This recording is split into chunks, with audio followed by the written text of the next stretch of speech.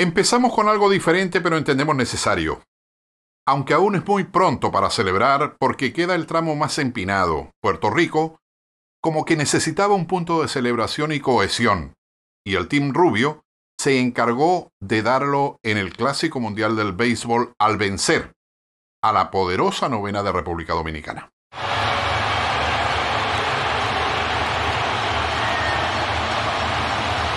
Somos taxativos al decir, sin dudas, que el país completo estuvo pegado al televisor, sufriendo el juego contra República Dominicana y al terminar, el grito se sintió en la luna. Casi contemporáneo a esa felicidad, la ex gobernadora Wanda Vázquez le pedía al país que la viera y la escuchara en una intervención que haría en una de sus redes sociales. Y todas aquellas personas que tengan el interés de ayudarme y de apoyarme económicamente para mi defensa, pueden hacerlo a esta corporación por los medios que ya todo el mundo conoce, que son ATH Móvil, PayPal, en efectivo o en cheque. Un medio de comunicación tituló Ex gobernadora Wanda Vázquez pide limosna en las redes para costear su defensa. Es fuertecito, pero es la realidad. Hasta el GOBE dijo algo relacionado, aunque con su espíritu de clase, advirtió lo que él dijo, siempre ha sabido de Wanda Vázquez. Yo sé que el costo de, la, de, la, defensa en el Tribunal Federal es altísimo. Y también sé que la exgobernadora es una profesional de, clase media. Si todos coincidimos en que un proceso federal es muy caro, ¿dónde queda la Administración de Justicia? ¿No se supone que los tribunales deben buscar la verdad y todos somos iguales ante la ley? Pero aquí hasta de forma inocente y torpe, los poderosos reconocen que no todos somos iguales y los únicos que pueden luchar contra los federales son los que tienen dinero, no importa de dónde venga. Por eso, casi todos los casos se transigen. Declárate culpable, chico, de un caso menos grave, es el usual consejo. Entiendo que Wanda Vázquez pida ayuda económica, pero igual me decepcionó su intervención pública. Yo esperaba algo más contundente sobre los cargos que pesan sobre ella y los tipos de los que alegadamente se rodeó. Hay ocasiones en que por la falta de recursos hay personas que pudiendo defenderse se rinden y tiran la toalla.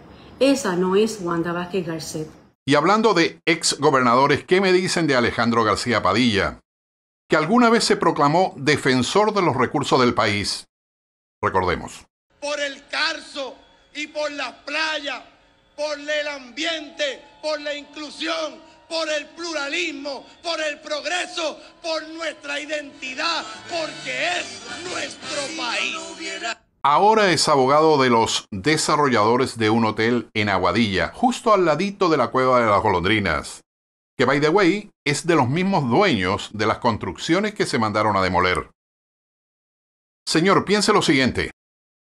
¿Usted cree que lo contrataron por ser un abogado sobresaliente o porque conoce los vericuetos y las cloacas del Estado?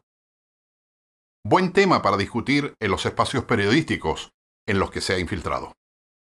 Y como venimos con ese lenguaje un tanto beligerante, sigamos por ahí. ¿Recuerdan ustedes a los tres legisladores PNPs que pedían 25 años de cárcel para la mujer que abortara y todos los que la ayudaran? Les dijimos, recuerden sus rostros y sus nombres en el 2024. Pues ante los aguaceros, decidieron retirar la joyita propuesta. Claro, pero recordando a mi madre, que siempre me decía que yo era como el pato. Si no la cagaba la entrada, la cagaba la salida. Dos de estas lumbreras, después de retirar los 25 años por el aborto, propusieron la castración química a los violadores y pedófilos. Ustedes esperen tranquilitos. Por ahí, ya mismo, nos traen otro proyecto para cortarle la mano al que roba, azotar al que miente, apedrear a la adúltera, y así, hasta llegar de nuevo a ojo por ojo, diente por diente.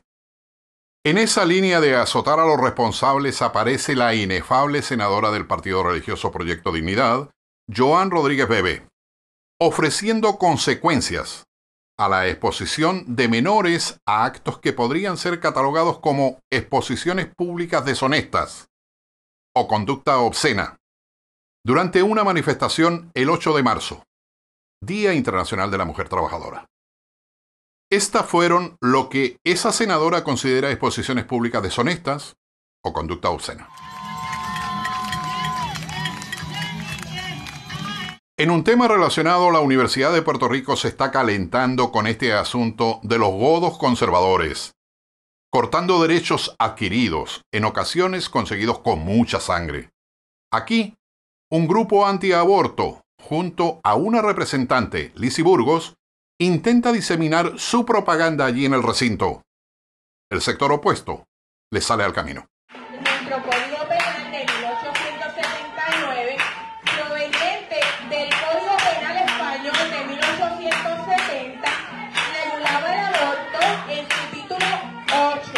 Esta semana también fue noticia la imagen de un individuo que amenazaba con un rifle a una cajera en una estación de servicio allí en el pueblo de Las Piedras.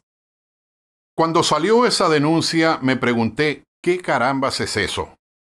¿Por qué un tipo saca un rifle, amenaza y luego se va, dejando su imagen en las cámaras del lugar?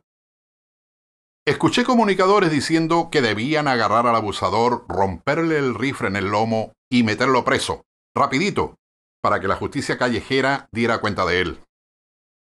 Pues lo último que supe es que el tipo tenía problemas económicos y familiares.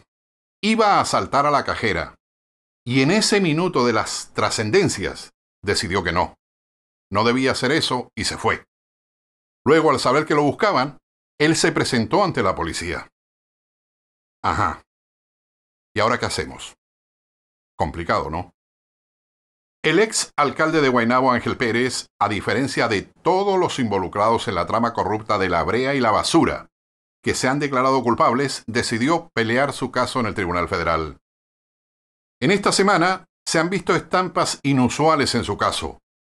Llega al tribunal de la mano de su esposa, Lisa Fernández, quien también fue legisladora y jueza superior. Cuando todo esto termine, que podamos hablar, yo les voy a hablar, no como esposa de Ángel, como abogada y como ex juez también. El reacomodo de las economías mundiales usualmente condena a los países del tercer mundo a ser solo fuentes de recursos naturales, provocando una enorme desigualdad social. Eso obliga a muchos valientes a jugarse la maroma de emigrar a las economías más desarrolladas de la manera que sea, para salvarse ellos y sus familias. Así pasan cosas como estas, donde más de 15 dominicanos se arrojan de un carguero para intentar llegar a la orilla de San Juan.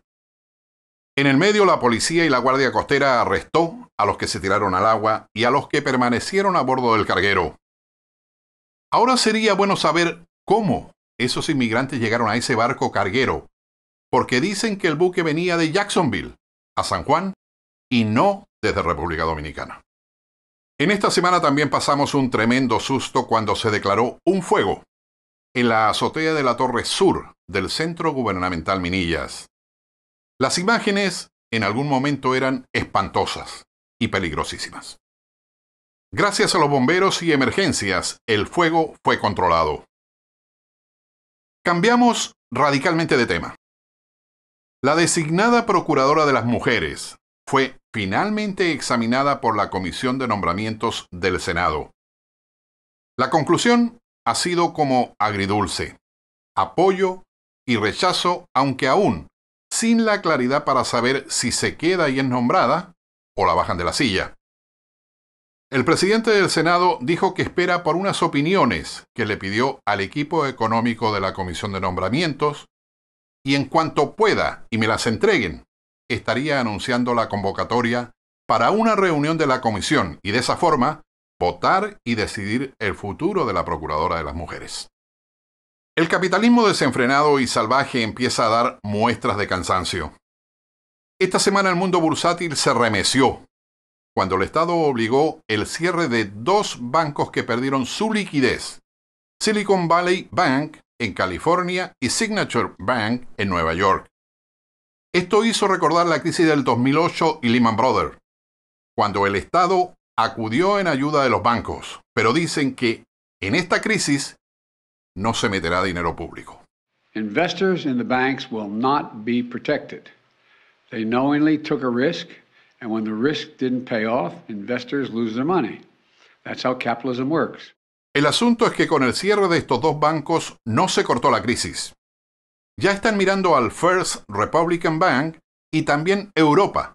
Se ha remecido particularmente el Credit Suisse, crédito suizo y las bolsas comerciales. Ciertamente hemos avanzado en la convivencia, la aceptación e inclusión. Aunque nos falta mucho. Si cuando yo vivía entre ellos alguien me hubiese dicho que dos mujeres mapuches, el país originario de Chile, se casaban entre ellas era porque el mundo se había acabado. Hoy, eso es una realidad. Y nos vamos con el corazón henchido. Adriana Díaz no deja de sorprendernos y darnos satisfacciones. Esta semana derrotó a una contrincante que siempre le había pasado por encima y se sigue rankeando entre lo mejor del tenis de mesa mundial ya es la número 14. Gracias por ver este episodio y por apoyar el periodismo independiente de Fuera de la Caja y 7 Días. Un agradecimiento especial a nuestros patrocinadores y productores en YouTube y Patreon. Recuerde que puede suscribirse a Fuera de la Caja en Facebook y YouTube. Y no olvide darle clic a la campana para que YouTube le notifique de nuestros videos nuevos. Además, nuestra comunicación debería ser en ambos sentidos. Todos los comentarios éticos y estéticos son bienvenidos. Nos vemos en 7 días.